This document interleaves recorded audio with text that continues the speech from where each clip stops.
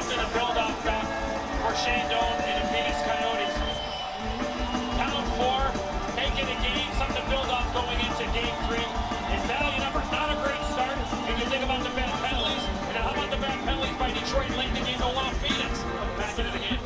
Coaches will have things to repair.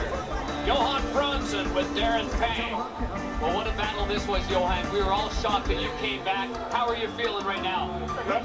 Not bad. Only I just stitched up a little bit on uh, that'll work. The way this game went, the momentum was lost. You come back to the bench, you've got a comfortable lead, and then it turns around. What happened? I should have stayed in the locker room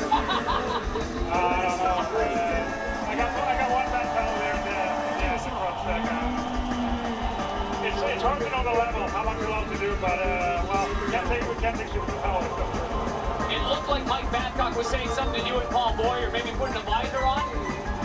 Yeah, I don't know. Uh, yeah, that's what he said. But, uh, uh, I'm not used to playing with that, so uh, they won't mind. Congratulations on the win. Thanks. Thanks.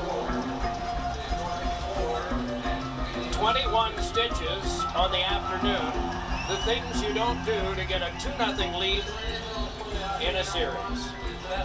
We will wrap things up here from Detroit in just a moment.